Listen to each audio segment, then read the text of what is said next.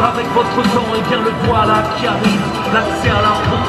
l'éducation, les idées vives. Je suis artiste et je vous dis que le partage n'est pas un crime, que mes chansons existent, alors qu'ils s'échangent et qu'elles s'animent, qu'on les critique, qu'on les malmène et que personne ne les brime, et qu'elles remontent librement d'autres humains, pas des primes, car sans liberté, nous ne faisons que mimer le système.